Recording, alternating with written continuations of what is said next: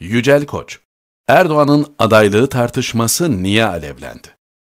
Seçimin erkene alınacağını savunanların en büyük dayanağı buydu. Cumhurbaşkanı Erdoğan'ın yeniden aday olabilir olamaz tartışmalarının önüne geçmek için sandığı 2022 sonbaharında getireceğini iddia ediyorlardı. Onlara göre dönemi tamamlamadan erken seçime gidilirse bu yönde yapılabilecek şaibelerin önüne geçiliyordu. Bu senaryoyu kulislerde iktidara yakın isimlerden de işitirken son bir yıldır erken seçim diye tutturan muhalefetin üstelik geçmişte pek çok defa sistem değişmiş olsa da birbirinin devamı üçüncü dönem olacak o sebeple yeniden aday olamaz iddiasını gündeme getirmelerine rağmen bu defa bu konuya hiç değinmemeleri dikkatimizi çekiyordu. Açıkça söylemek gerekirse AK Parti içindeki bir kesimde son dönem konu Anayasa Mahkemesi'ne taşınır ve aday olamaz kararı çıkarsa Bahçeli tutumunu değiştirir mi endişesi görülüyordu. İşte bu kafa bulanıklığını gidermek için midir yoksa karşı mahallede sessizce bir başka hazırlığın yapıldığını gördüğünden midir bilinmez, MHP lideri Devlet Bahçeli'den sürpriz bir açıklama geldi. Partisinin Kızılcahamam kampında milletvekilleri ve Merkez Yönetim Kurulu üyeleriyle bir araya gelen Bahçeli, Sayın Erdoğan Cumhurbaşkanlığı hükümet sisteminin ilk cumhurbaşkanıdır ve tekrar aday olmasının önünde de herhangi bir engel bulunmamaktadır dedi. 2007 yılında Abdullah Gül'ün aday olduğu Cumhurbaşkanlığı seçiminde yaşanan ve MHP'nin desteğiyle aşılan 367 krizini hatırlattı. Eski Yargıtay Başsavcısı Sabih Kanadoğlu ve buna benzer isimlerin başkanlık sistemine geçişi dikkate almayarak Cumhurbaşkanı Erdoğan'ın üçüncü defa aday olamayacağı iddiasıyla ortaya çıkmaları durumunda üzerlerine düşen sorumluluğu yerine getirmekten yine kaçınmayacaklarını ilan etti. Bir hukuki değişiklik yapmak gerekiyorsa bunu desteklemekten çekinmeyeceklerini söyledi. Devamındaki şu vurguda önemliydi. Cumhurbaşkanının en az 3 dönem seçilebilmesi amacıyla gerekli yasal düzenlemenin yapılmasına var gücümüzle çalışır, bunu da başarırız. Hiç kimse bulanık suda balık avlamasın. Sayın Erdoğan'ın önünü keseceğini zannetmesin, ham hayal peşinde koşmasın. Bunlar durduk yerde söylenecek laflar değildi. Sayın Bahçeli belli ki sessizce o günün gelmesini bekleyen muhalefetin bir hamlesini erken patlattı ve karşı tarafı hazırlıksız yakaladı. Nitekim bunu CHP lideri Kemal Kılıçdaroğlu açık etti. Önce Erdoğan'ın üçüncü kez aday olmasına itirazımız olmaz açıklaması yaptı. Sabih Kanadoğlu'nun yeniden piyasaya çıkıp Erdoğan'ın referanduma gitmeden normal süreçte aday olamayacağını, referandumunda gündemde olmadığını söylemesiyle birlikte Kılıçdaroğlu da çark etti.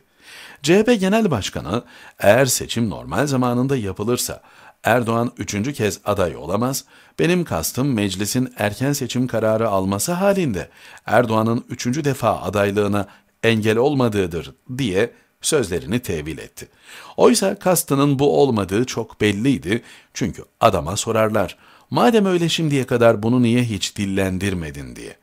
Bahçeli'nin çıkışından bu yana önce Türkiye Büyük Millet Meclisi Başkanı Mustafa Şentop, ardından pek çok AK Partili hukukçu ikinci dönem mi, üçüncü dönem mi tartışmasının yersiz olduğunu ve Erdoğan'ın yeni sistemde ikinci defa aday olmasının önünde hiçbir engel bulunmadığını dillendiriyor. Gelin görün ki burası Türkiye. 367 krizini hatırlayacak olursak, o günde Sabih Kanadoğlu'nun çıkışı için benzer açıklamalar yapılmış ancak yüksek mahkeme o güne kadar aranmayan şartı AK Parti'nin önüne koyu vermişti. O günün mağduru Abdullah Gül'ün kendisine bunu reva gören CHP ve vesayet sistemiyle bugün aynı çizgide ilerleyip kendisini bütün engelleri aşarak Çankaya'ya taşıyan Erdoğan ve Bahçeli'ye koltuktan inince hasım kesilmesi bir başka yazı konusu. Lakin şu var ki Devlet Bahçeli bu tartışmayı bugünden boşuna başlatmamıştır. Cumhurbaşkanının en az 3 dönem seçilebilmesi amacıyla gerekli yasal düzenlemenin yapılmasına var gücümüzle çalışır, bunu da başarırız sözü de yabana atılmamalı. Şayet seçim zamanında yapılacaksa ki bütün hazırlıklar bunu gösteriyor, önümüzdeki sürecin en önemli gündemi muhtemelen bu mesele olacak. Buradan geçen sene Erdoğan aday olmazsa ikinci isim kim olur senaryosu gereğince akla ilk gelecek isimlerin hedefe konulup itibarsızlaştırılmaya çalışılmasını da anlamış oluyoruz. Demek ki bu yönde birilerinin hazırlıkları planları varmış ve çok önceden ikinci, üçüncü isimlerin de önü kapatılarak ne olur ne olmaz diye önlem alınmaya çalışılmış. Şimdi kulislerde konuşulan iki senaryo var.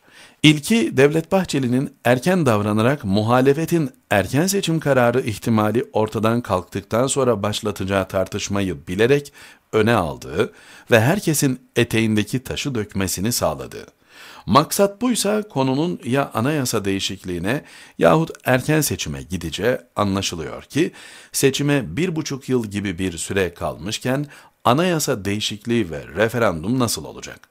İkinci senaryo ise üç dönem seçilebilmesi amacıyla vurgusu yapan Bahçeli'nin asıl amacının Cumhurbaşkanı Erdoğan'ın 2028'de de aday olabilmesini sağlayarak 2033'e kadar Cumhurbaşkanı olabilmesinin yolunu açmak oldu. Siyaset ısınıyor, sorular soruları kovalıyor ama şimdilik bu kadarı kafi. Görünen o ki bu tartışma daha çok su kaldıracak. Yücel Koç, Türkiye Mahmud Övür, CHP yine Kanadoğlu'na sığındı. Aslında yeni bir tartışma değil.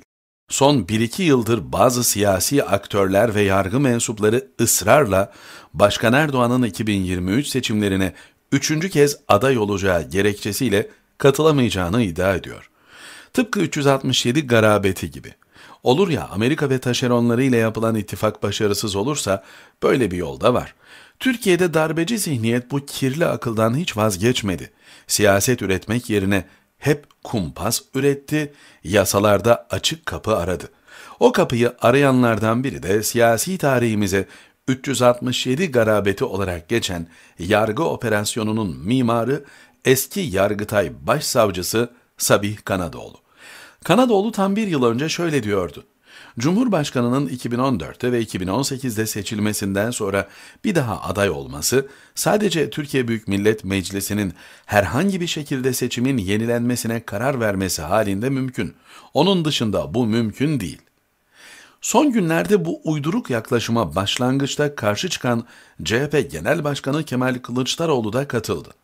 Eğer seçim normal zamanında yapılırsa Erdoğan üçüncü kez aday olamaz, benim kastım meclisin erken seçim kararı alması halinde Erdoğan'ın üçüncü kez adaylığına bir engel olmadığıdır. Yoksa zamanında seçim yapılırsa aday olmasına anayasa engeldir. Gel de şaşırma. Peki Kılıçdaroğlu bu noktaya neden geldi? Bu tipik bir CHP tavrı mı yoksa ittifak içinde bir çatlak mı var? Bu sorunun cevabı yakında ortaya çıkar ama daha vahim olan CHP içinde bile bu konuda bir anlaşmanın olmaması. Neredeyse aynı günlerde CHP'nin parasal ve siyasi ilişkilerini yönlendiren isimlerden biri olan Başdanışman Erdoğan Toprak bambaşka bir şey söylüyordu. Bu siyasi mühendislik tuzağına düşülmemeli, durup dururken ortada bir tartışma yokken bu nasıl gündeme geldi? Bu bir tuzak, bu tartışmaya girmemek lazım. Olacak şey mi? Genel başkanı anayasa hükmü diyor, baş danışmanı tuzaktan söz ediyor. Sahi bu durumdaki bir CHP, ittifak yaptığı altı partiyle anlaşıp Türkiye'yi yönetebilir mi? İşin doğrusu CHP ne kadar değiştiğini söylerse söylesin, değişmeyen bir yanı var. Bir türlü vesayetçi düşünme biçiminden kurtulamıyor.